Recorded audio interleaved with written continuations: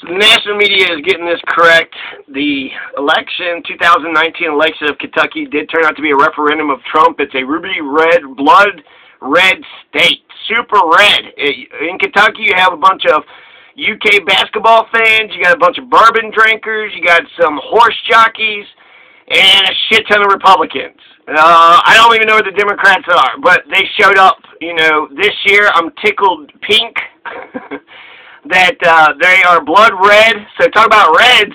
The Republicans are the Reds now. The Republicans are the the racist party. So before the Republicans used to be the party of Lincoln, right? And Lincoln he studied by candlelight, and Lincoln is Kentucky's greatest, one of Kentucky's greatest citizens ever. And a lot of Kentuckians don't like him. They'll say, well he did this thing that wasn't good. He ended. He freed the slaves. Name another historical figure that freed this Moses. Moses, who wasn't even real. So, what other historical figure freed the slaves? Probably some Roman somebody. So, anyways, let's talk about the laws that's surrounding this. So, Lincoln, you know, educated himself by candlelight. So maybe we all can learn the law, right? Kentucky, we can all read the law. So Bush v. Gore, controversial case. They stopped the recount. If the recount would have happened, then you know Gore would have won essentially, or no, he wouldn't have. I'm not for sure, but the recount was stopped. So the Supreme Court had selected the president, not elected it. So I do question B. v. Gore's logic, but this sentence here makes sense to me. It says you got to vote on equal terms. A state may not, by arbitrary disparate treatment, value one person's vote over another. And so the election is free and fair, and the recount is going to be less free and fair than an election. So you would have to have a re- another election if you actually had enough discrepancies or irregularities, which is what Matt Bevin is saying. So you had Andy Beshear. He's going to win Kentucky's gubernatorial election 2019 by 5,000 votes. And that's very close, less than 1%, but he won the election. And then John Hicks was able to get, I think, 12,000 votes or so, so he beat the spread. So you could say he's a spoiler because it's not a fair election. 42% of Kentuckians voted. It was a referendum on Trump. Now, thousands of absentee ballots could have been illegally counted, according to Matt Bevin. Number of people were turned away from the polls, and a number of machines didn't work properly. So Matt Bevin has not conceded. Matt Bevin is still pushing for this to go the gauntlet. So let's get some election integrity. Let's see if the election of Kentucky was actually fair and free the way it's supposed to. Now, Section 90, the exact wording is that contested elections for the governor and lieutenant governor of Kentucky shall be determined by both houses of the General Assembly, both the Senate and the House of Kentucky's legislature of the General Ass they get to determine to such you know regulations as determined by law. So if there's a contested election, it goes to the legislature. If this election is contested, they could recount, recanvass, but ultimately the House could steal it. The State Board of Elections is scheduled November 21st to meet, and then November 25th they are supposed to certify it.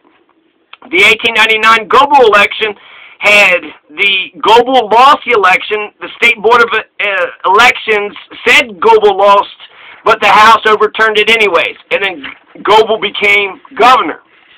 And so that's the 1899 election shows that Bevin could push this to be a contested election. Robert Stivers is sitting there saying that it's possible too.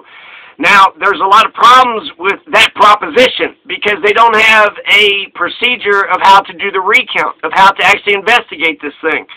So, the Section 90 says that a contested election can be determined by both houses of the General Assembly to such regulations as determined by law.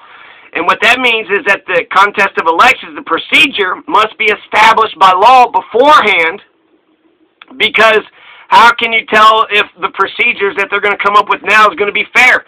If they came up with the laws beforehand, then that would be fair. But right now, they're going to come up with the laws.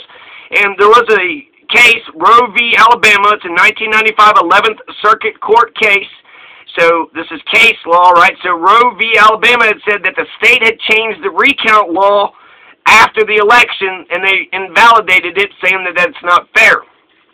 So, if there's no laws written on the books for Section 90 of how a recount's supposed to happen, then the 11th Circuit case, Roe v. Alabama, expects, you know, the Kentuckians to, or the Republicans, I mean, Kentuckians, Republicans, that's all you, you go to Kentucky, that's all you see, right? Just a bunch of Republicans over here, Republicans over there, Republicans up here, Republicans over there, Republicans everywhere. So by the law, what's going to happen is the state could try to steal it, right? The state of Kentucky, then Beshear is going to file federal lawsuits against him, and he's probably going to win in federal court. So Andy Beshear has got the more votes. The recanvass isn't going to turn up with it. isn't going to turn up with anything. So let's talk about some more of the laws, okay? So Bush v. Gore says that election process is going to be more fair than a recount is. So if anything, you should have a whole other election if you're going to, you know, do a recount if there's enough irregularities or enough fraud.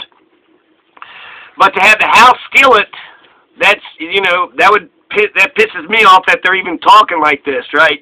They, lost the election, but they're crying sour grapes. Five thousand is close, so they're going to try to, you know, basically just um, and Bevin has always been close elections. 38. He actually won the primary in 2015 by 38 votes. So it's very possible the legislature could decide it. They got, you know, Bevin's got 30 days to contest the election. So in the next 30 days, Bevin could contest the election in spite of the state board certifying it November 25th. Today is November 8th. The election was November November 5th. So it's three days ago, and then it's the 8th right now. So that means in what, in 13 days. In 13 days, they're going to go ahead and meet. The recanvass is scheduled November 14th. So that's in six days. In six days, there's going to be a recanvass. In 13 days, the state board is going to meet. And then in, um, I guess, 19 days, the state board, if it goes to according to schedule, will certify the election for Andy Beshear November 25th. Andy Beshear is against child abuse. Andy Beshear is for teachers and the unions. Andy Beshear is for abortion, and he's for casino gaming, and he's for medical marijuana. So, you know, he's not the most progressive, but he is left of center. He was the third most progressive in the primary. Adam Edelen and Geoff Young both ran to the left of um, of Andy Beshear. So, in some respects, people say, see, centrism works. Centrism works. But he's actually left of center. Anyways, so Section 90 says, you know, that the House can do it. It is possible. They do seem like they're going to indicate that they are going to steal this election.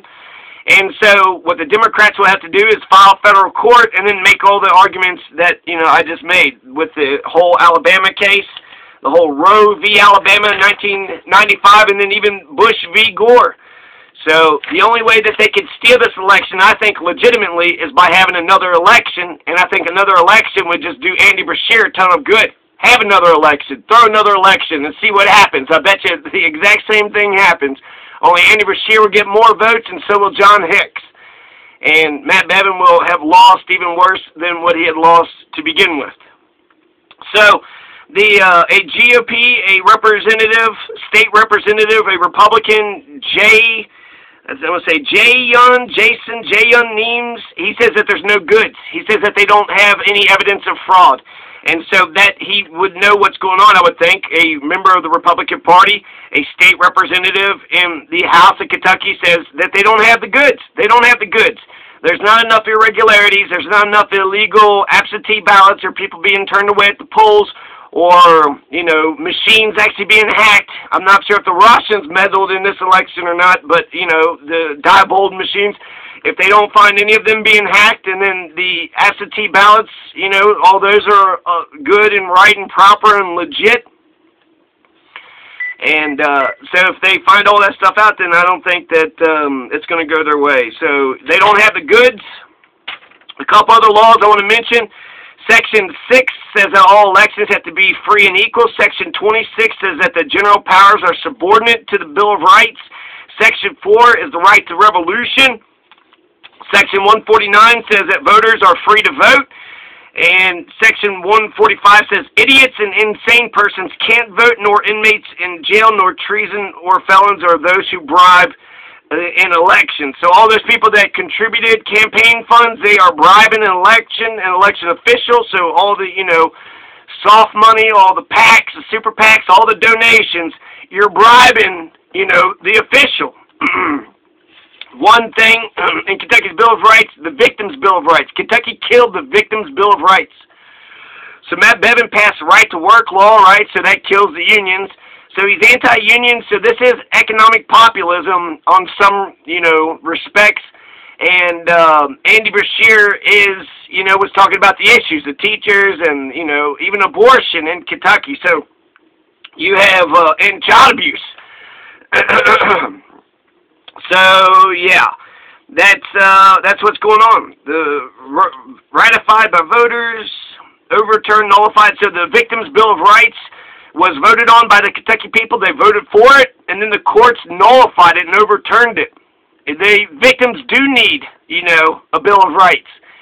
We should protect the victim eh, more so than the criminal. I mean, that's kind of crazy that they invalidated the Victims' Bill of Rights. So those are just some other laws of Kentucky that, uh, you know, I'd want the people to consider. The elections have to be free and equal, Section 6. The general powers are subordinate to the Bill of Rights, Section 26. Section 4 is the right to revolution. There's no victim's Bill of Rights, so you, Matt Bevin cannot cry victim. Section 149 voters are free to vote. Um, Section 145, unless you're an idiot or insane or an inmate in jail or you're a treasonous scumbag or a, a felon or if you bribed an election official, then you cannot vote. So those that, is section 145. So those are some other sections of Kentucky's Constitution.